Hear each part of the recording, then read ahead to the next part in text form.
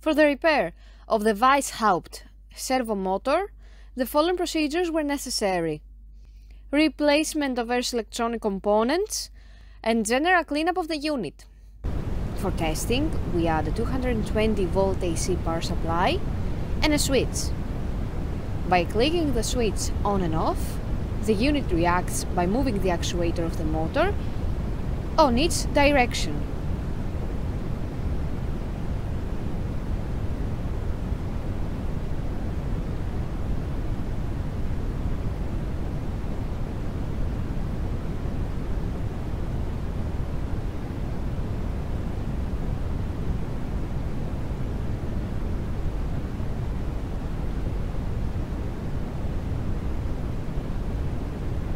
It is now clear that the servo motor is working successfully and is ready to be delivered to the customer.